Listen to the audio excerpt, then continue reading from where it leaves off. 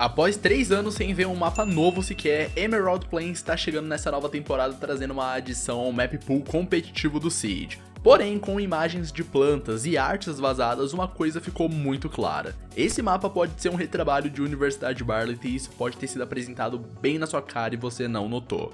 Antes de qualquer coisa, vale lembrar que a nossa cobertura da Demon Veil tá quase terminando, e se você quiser começar a aproveitar a temporada daquela forma, com o Season Pass Premium, corre lá na Twitch que você tem a chance de conseguir um de graça através do sorteio de subs desse mês. Boa sorte.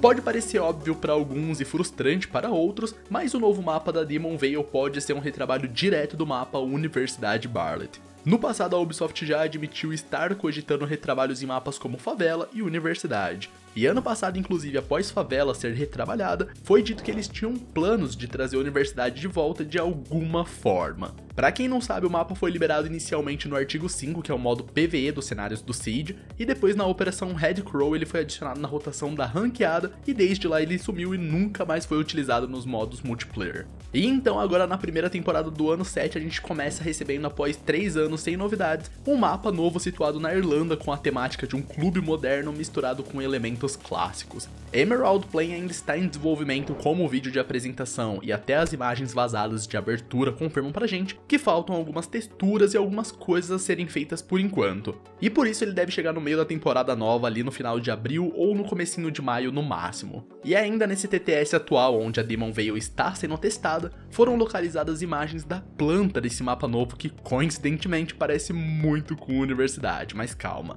Já já eu vou te mostrar algo bem peculiar que confirma a nossa teoria. Por enquanto vamos dar uma olhada no mapa e como que ele está sendo construído. Emerald Plain parece ser um mapa de tamanho pequeno para médio, o que é bom, mas ele tem muitas salinhas e cômodos para facilitar o trabalho de Roman aparentemente. Como a gente vê pela área do telhado, existe uma rotação entre os dois lados do prédio nesse corredor aqui da frente, e até uma escada na parte de trás que leva para o telhado, semelhante ao que acontece em Fortaleza também.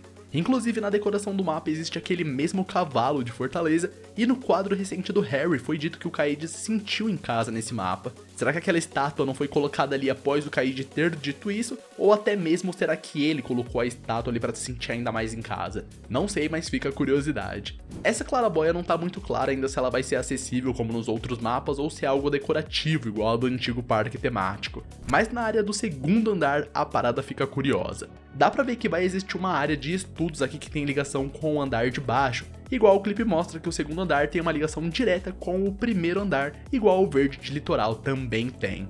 Ali no lado na área de caça, graças à planta, a gente consegue entender que ela será conectada com essa salinha toda temática. Tanto que vai ser no final desse corredor à direita que tá a sala de caça com o urso e tudo mais. O vídeo todo de apresentação quase só mostra o segundo andar do mapa, mas essa sala de jantar fica no primeiro andar nessa região aqui com a adega ali na salinha de trás. E essa área do bar fica do outro lado do primeiro andar.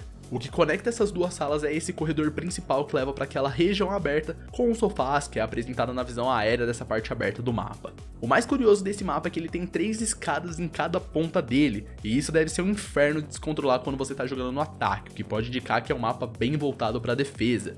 Entretanto, quase todo o segundo andar ele tem um chão destrutível, que pode ser bem útil quando você for fazer algum top control dos bombs e coisa parecida.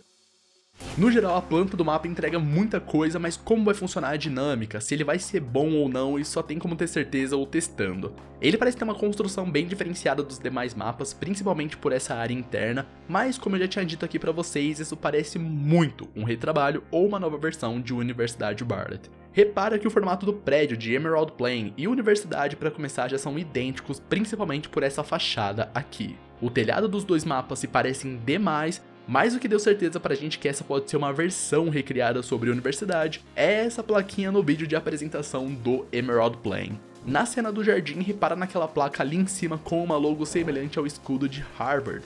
Essa mesma placa é vista em universidade, parodiando que a universidade é um local semelhante a Harvard na vida real. Ou seja, por que, que um clube moderno teria o mesmo enfeite de uma universidade na sua decoração?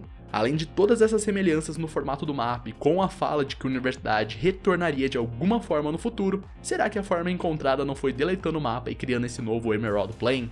De primeiro momento eu achei meio nada a ver essa teoria de que o mapa novo é uma universidade 2.0, mas agora com a planta do mapa vazada e com esse detalhe aqui do escudo de Harvard, putz, eu acho difícil a Ubisoft conseguir dizer que não tem nada a ver um mapa com o outro. Por outro lado, da mesma forma que vários props de outros mapas foram reutilizados nesse mapa novo, pode ser que eles tenham colocado esse escudinho aqui fora só para dar um charme, talvez. Mas isso não oculta todas as outras semelhanças na construção e no formato do mapa, né? Por aí você acha muito nada a ver ou até que essa teoria faz sentido para você? Comenta aí abaixo que eu quero saber a sua opinião a respeito dessa teoria e também de como tá o formato do mapa.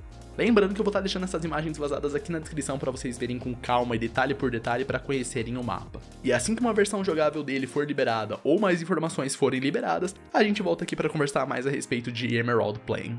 Mas ó, por enquanto é isso, galera. Eu vou ficando por aqui, mas se você gostou desse vídeo, não se esqueça por favor de compartilhar com seus amigos para me ajudar feedback positivo, tá certo? Eu me chamo Gabriel Cerqueira e esse foi mais um vídeo do canal de Scammer pra vocês. Espero muito poder contar com a sua presença no meu próximo vídeo e até mais, galera.